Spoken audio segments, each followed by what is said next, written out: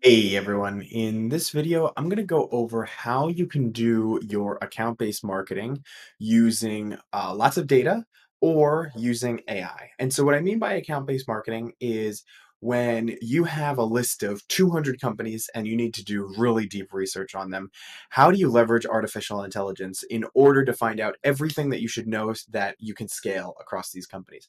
And so in this video, we're going to go over how we can uh, take a look at what job postings a company has and then deduct uh, what problems are they trying to solve with those job postings. The other thing that we're going to deduct is what the company's mission is and what they do. We're going to figure out who their ideal customers are. Are they a B2B or a B2C company? We'll figure out their average pricing. We're going to figure out the uh, following of their social media accounts. We'll also figure out some of their competitors some technographic information and some leadership changes in the past 12 months. This is going to help us make uh, some other things like uh, you know some lines based on the job titles and what are the priority and challenges for the people that they're hiring and then we will also take a look at some other AI written lines as well. So without further ado, let's jump into it. And so this is our clay table here where we're hosting this data. I just have a couple of companies in this list to just show as an example. So for the first thing that we're going to do is we are going to find the active job openings that the company has and then use AI to determine what this uh, company is looking to solve for. So inside of Clay, we have the find active job openings via LinkedIn. And then we could also use the Google Jobs integration or we could use the predict leads jobs integration, right? Find active job openings by domain. We could use all of those. All we need is the job description. Once we have the job description, we can reach out to people and well we won't use this to reach out to people but what we're going to do is put in this prompt and we're going to say using the input job description summarize what problem the company is trying to solve with hiring this person. The job description will mention day-to-day tasks but ignore those and focus on the strategic reason the company is hiring this person. Also consider the description of the person and how hiring this person would help the company. The job description to reference is here and the description of the company to reference is here. So we're looking for the problems that they're trying to solve for, what day-to-day tasks they're going to be doing, and then how does that relate to the overall mission of the company. And so an output for 6sense, and it looks like they're hiring for a support reliability specialist. Uh, 6sense is in the business of revolutionizing the process of B2B generation. Uh, the company's core challenge that it seeks to address with the specified role of a reliability support is to enhance reliability, speed, and scalability of its services and infrastructure. By hiring a reliability support specialist, the company aims to ensure a swift, safe, and reliable product delivery through the improvements of its monitoring. The intended results here is to improve their services uptime. Great. And contribute to their as they maximize revenue. Great. So we got some nuggets here. They're looking to hire this person because they want to maximize uptime. If you're a company that maximizes uptime, boom, this is something that you could be reaching out with. And so uh, this prompt could be improved for your use case. Uh, we didn't put any job title keywords in here. So if you put in some job title keywords or some um, job description keywords that would help you know, okay, they're having this problem, that's how you would improve this prompt for yourself. Now, uh, it's super easy to figure out what the mission of the company is. Uh, you literally just have to put this using the input. What is the mission of the company?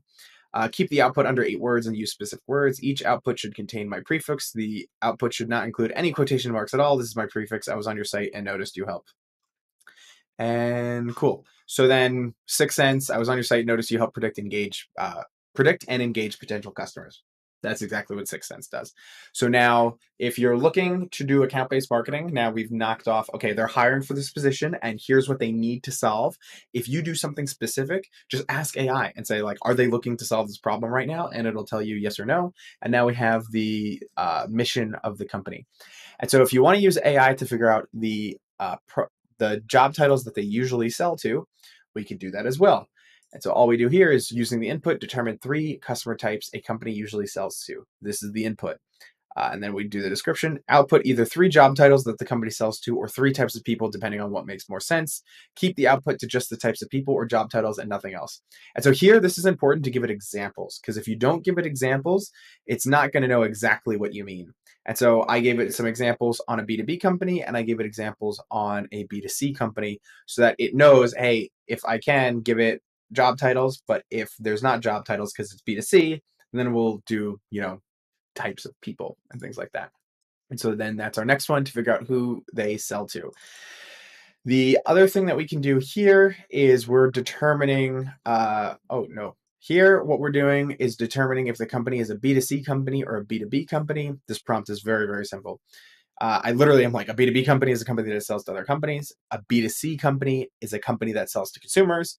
Using the input, tell me if the company is likely a B2B or B2C company. And we just use the company description and that gets us uh, right there. And so like most of these are B2B companies, but if we check out this B2C right here, who's this? Avvo.com. What does Avo do? easy for people to research, find, and connect with the right lawyer. Yeah, definitely B2C. So great. Now, a big one that's going to come up all the time average pricing. What do they, what's the pricing? How do they charge and all of these things? So this is a little bit difficult to get because of the messiness of people's websites and the way that they structure them. I usually like to start with a Google search. And once I get the Google search, I'm going to do a site search on the domain. And so this is literally like site 6sense.com is basically what this looks like. And so when I say site, what that's doing is it's saying, hey, I want every search result on Google, but it if the search results have to come from this website. And then I want in URL pricing, and I'm saying, you know, whatever price like URL that you have, I want that URL to have pricing in it, and I want the dollar sign. The reason I want the dollar sign is because if they ever put pricing in their URL and it's just a blog about pricing, I don't want that. I put the dollar sign to get uh, one of the dollar signs inside of the text on the page. And so for some of these companies, like this one, Six Cents, oh, whoops. So see, like 6sense, we got their pricing page. And I know you can't see this tab, but I'm just telling you, 6sense does not allow you to see any pricing. So that that's kind of a tough one. It's just book a demo. You can't you can't see anything. And so if we I'm just going to skip to one that we do have so see how this is branch.io pricing and then in this text we have the the pricing from them and it says the company offers two main pricing plans self-serve or enterprise. And so the way that we got that is because we got the link the first link that was uh, had pricing in the url and it had the dollar sign. And then we use scrape website from clay to get the body text of what's on that page. Once we pull in the body text of what's on that page we use AI to determine what the output is. And so a lot of these don't qualify because they're a lot of them are B2B companies and things like that. Um, and so, for instance, like Clay is down here and it found our pricing page and it says the company offers three plans the starter plan, the pro plan, oh, whoops, and the explorer plan. Great. So, the way I prompted this, very, very simple. return the pricing of the company. This is the input. That's all I put because uh, the the uh, text is so large that I kept it really really simple. And so what I would do is just get this, and then if you need to use it in an email, further squeeze it down with another AI prompt. And so then that's how I would get pricing. Ah, and then this is one that I'm asked about all the time: is how could I get a company's uh, social media followers? And so I used Search Google here what we could have also done is we could have used the Scrape website over here and see how in Scrape website we have their Instagram, we have their LinkedIn, we have their Twitter.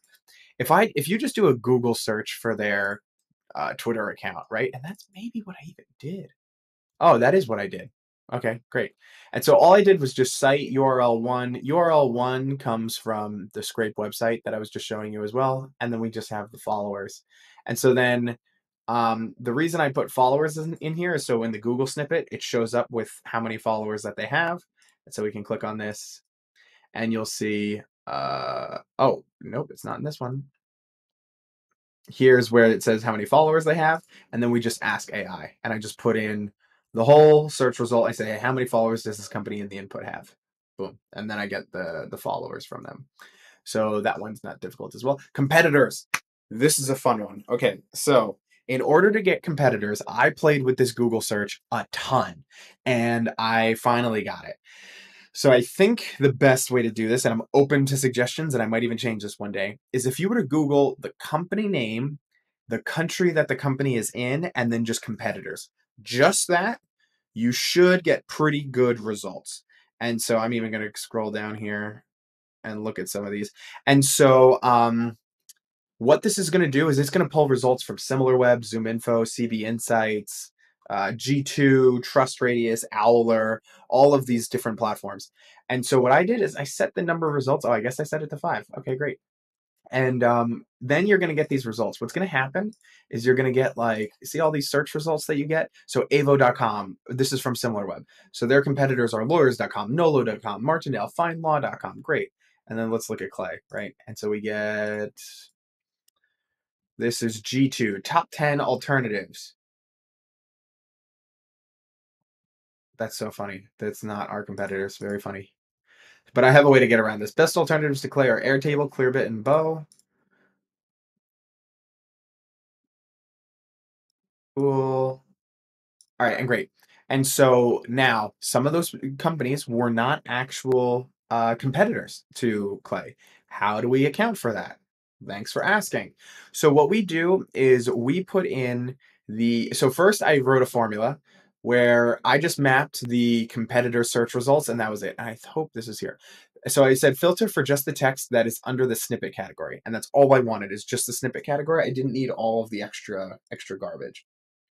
So then what I did is I used AI and basically the premise I was looking for was tell me who the competitors in the lookup and do not include the company name that I'm looking up because they're they're the competitor. I mean, they're the company I'm looking for competitors for, so don't include their name.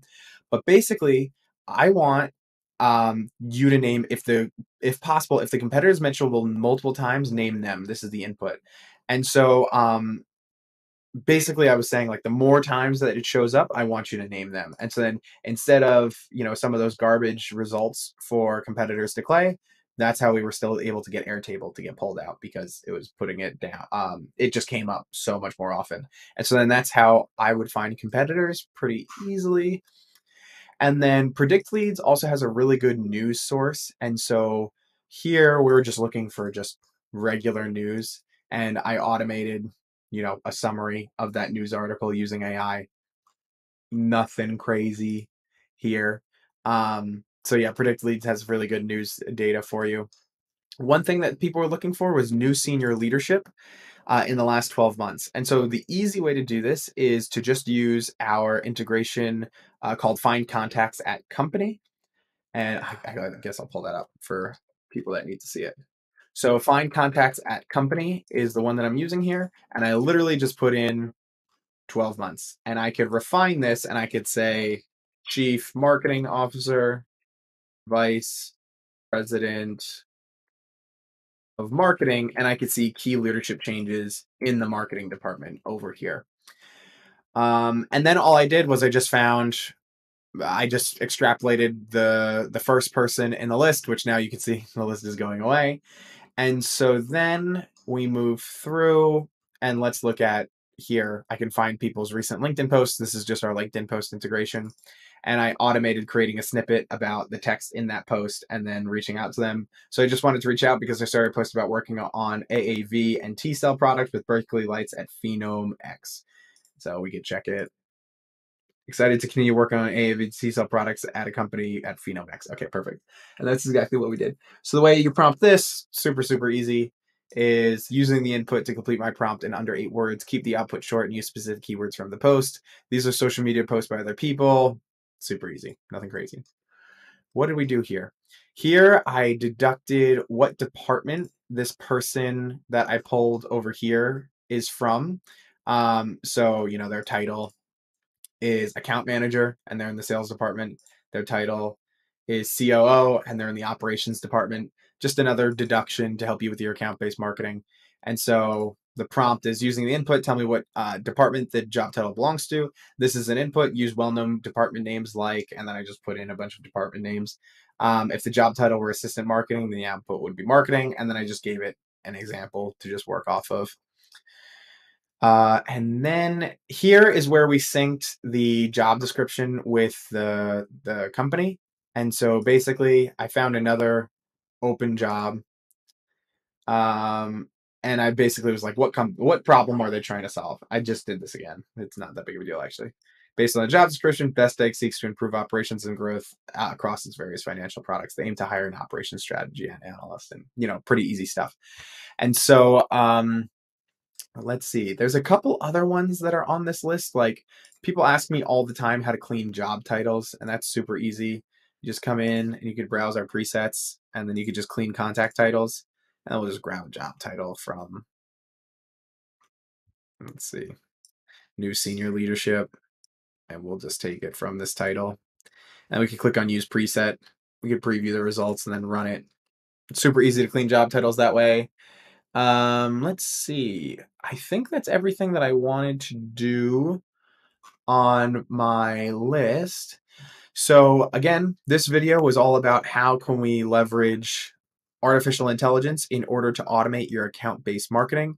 If there's anything else that you usually like to search for when you do account-based marketing, just let me know. Uh, I was trying to cover all of the things that the normal tools provide, like Owler and you know those kind of tools that that provide just static information about companies. So yeah, hope you enjoyed it, and let me know.